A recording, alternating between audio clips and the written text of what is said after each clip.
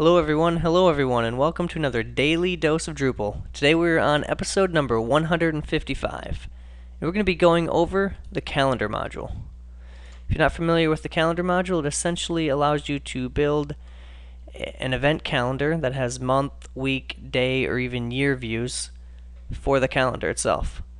Before we get started, I am Shane Thomas. You can follow me on Twitter at smthomas3 also, go ahead and follow at Adam Leering on Twitter as well, since he's been doing a lot of Code Karate videos lately. We do have an ebook coming out soon. It's coming, and make sure to sign up for the newsletter if you haven't already. We do appreciate the follow there. We're going to go ahead and get started. The first thing we need to do is make sure we have all the date modules downloaded. Well, it's one date module, I guess, that you can download one project from Drupal.org, but multiple modules that you actually need to enable. You're going to need the date API. We're using the date pop-up.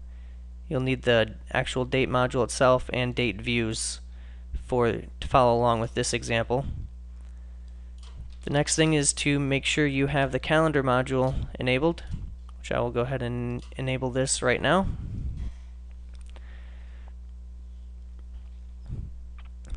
Uh, the way the calendar module works is it essentially you can use a content type. It can use other types of entities as well, but we're going to go ahead and just stick with nodes for this example. And it uses a date field on that content type. So we're going to go ahead and add a new content type, and we're going to call this event.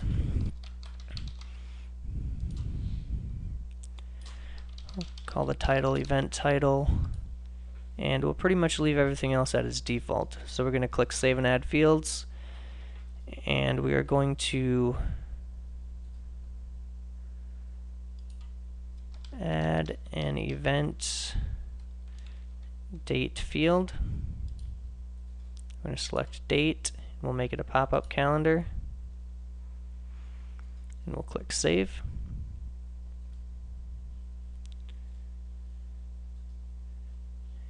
We next need to select what date attributes we want to collect. Since we're doing a calendar and we're going to want to have week and day views, we're going to go ahead and collect all of these up through minute. We don't need up to the second. We're also going to offer an end date, but not necessarily require it. That'll allow us to set a specific duration for the event. We'll use the site's time zone handling and we'll leave everything else the same and click Save. Just confirm that everything's what you need. You can add some help text. Click Save Settings, and this will bring us back to the actual Manage fields. I'm going to go ahead and pull the date up here just to make it a little easier. And we're going to go ahead and add just two quick events. So we'll call one event 1 and we'll go ahead and select June 9th.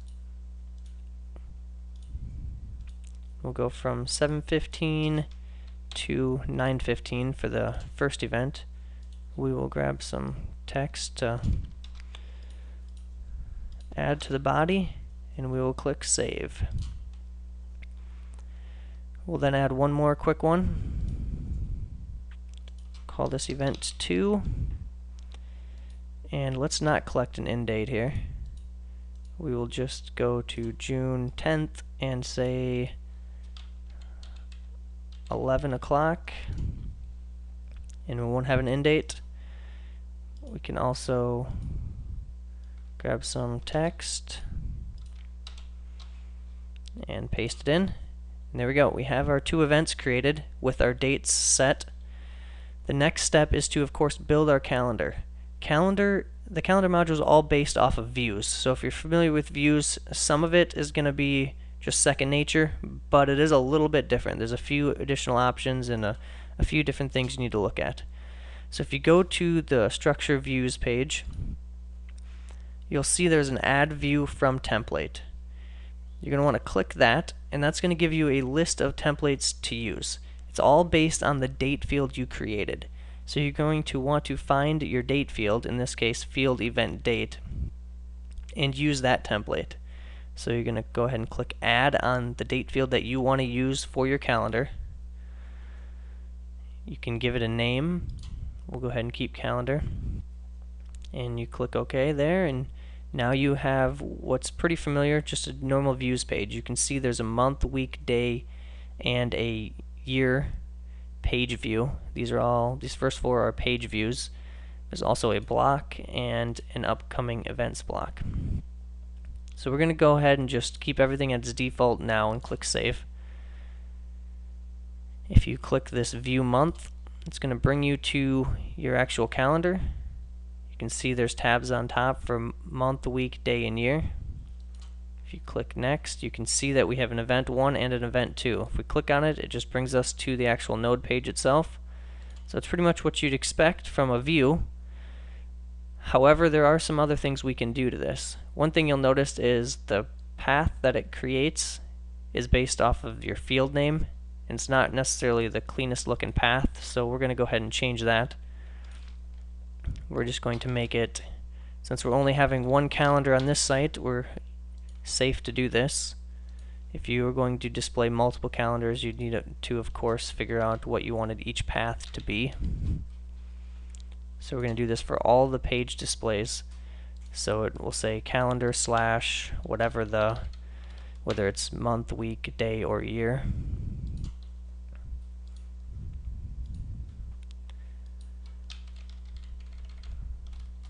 So that's the first thing we're going to do. The next thing is if you come into uh, some of the settings over here, you have specific calendar settings. Here are a few different options. You can decide if you want to display it as a mini calendar, if you want to use full week names, abbreviated names, if you want to show week numbers, how many items to display. If you if there are multi-day events, so an event that spans across multi days, multiple days, so let's say you went from a Monday to a Friday, you could elect to hide specific rows for multi-day events. We're going to leave everything at its default because that's pretty much what we need for this example. But you can change it if you need to. If you click on the settings link next to calendar entities, there's a few more options here. One of the cool ones is this legends legend colors. Here you can change the color or it'll add a little stripe I guess on top of the actual event so you can kind of differentiate between different types of events. And you can do this by adding a separate content type. Let's say you had uh, an event, a certain event type, and maybe you had a group event for your entire team or a team event. You could add another content type and you could give each one a different color. When you're creating your second content type, you just need to make sure to use the same date field. So instead of creating a second new date field, you just want to add an existing field and add your date field. The other cool thing you can do is you can create it based on taxonomy. And that's what we're going to show here as an example. So we're going to add a new taxonomy vocabulary. I'm just going to open it in a new tab here. And we're going to call it department. And this is going to allow us to, in this example, have a department calendar for maybe a sales department and maybe a development department. So you could have different events show up a little bit differently so you can differentiate between the different types of events. So we're going to add two terms. First one is just going to be sales.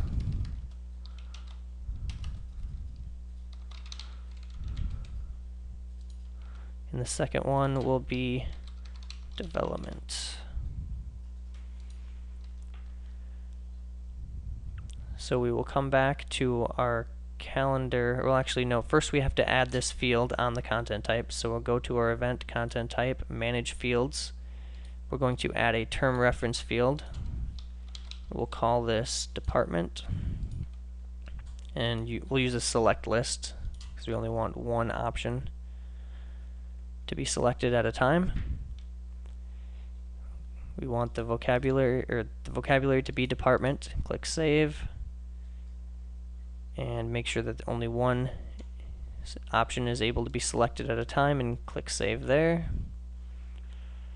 So now move this around and save it. Now we'll need to come back to our two events that we have, which is event 1 and event 2, and we will edit those.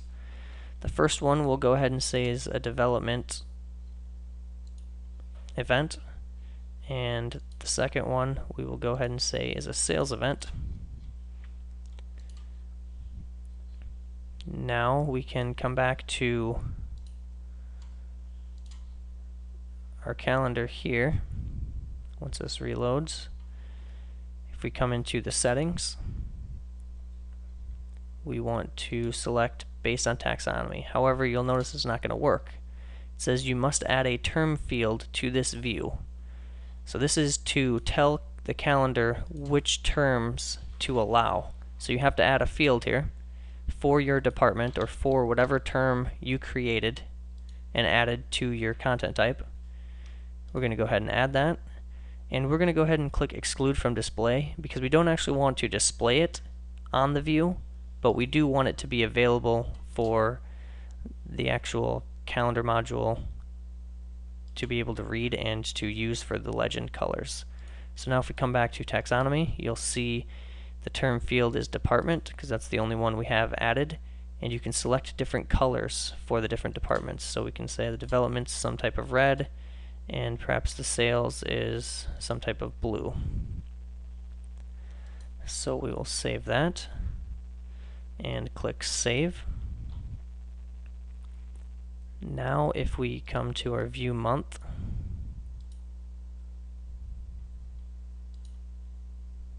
you'll see we have a red one for the development and a lighter blue for the sales. If we go to the week, just to see how the week view looks, you'll notice that th those stripes don't necessarily carry over, but you do have a week view. And a day view is also there we'll go ahead and just edit the URL to get to the 9th and you'll see we have event 1 there and on the 10th we have our event 2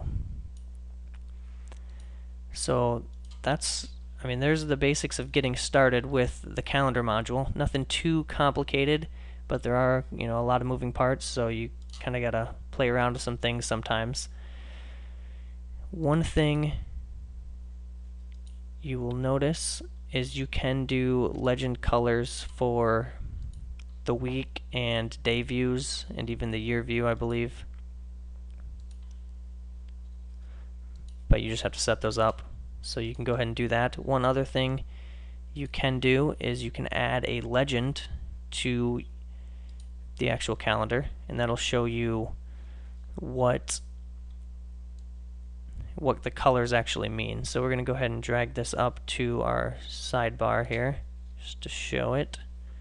We'll save it and then sometimes, at least the first time I did it, I had to actually come in here and configure it. Make sure you have the right legend view. I just will go ahead and have the block title be none, but you could have that say calendar department. We'll just say department.